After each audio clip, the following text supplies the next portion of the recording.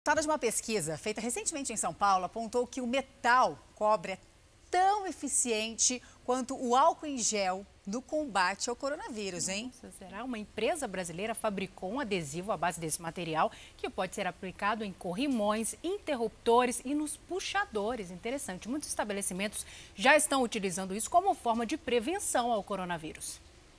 No corrimão do consultório, uma cor acastanhada chama a atenção. É a mesma do interruptor e de partes do equipamento do dentista. Na padaria, olha aí também, na catraca e no puxador da geladeira. A preocupação existe. O meu cliente tem que entrar aqui e sentir confiança em vir na padaria. Além da boca e do nariz, o cliente, o cidadão entra e pega tudo na mão. O material é o cobre metal nobre que tem propriedades bactericidas conhecidas desde a antiguidade. De acordo com o laudo do teste de atividade antiviral realizado em laboratório da Universidade de São Paulo, o cobre foi capaz de eliminar 77,3% do SARS-CoV-2 em menos de dois minutos, 95,4% em 10 minutos e mais de 99% em 30 minutos.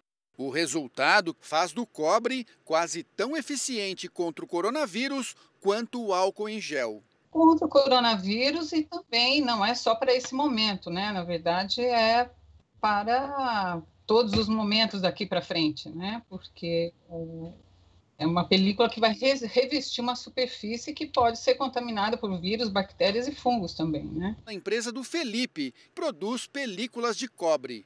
Ele teve a ideia de investir neste formato assim que a doença surgiu no início do ano.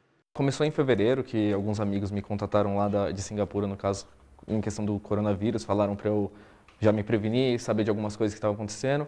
Em uma das discussões eu acabei sabendo do poder antimicrobiano do cobre. A película tem 0,06 milímetros de espessura, é bem fininha e maleável. Ela dobra e é autoadesiva também. É só destacar aqui e colar onde quiser. Ela se adapta a qualquer superfície.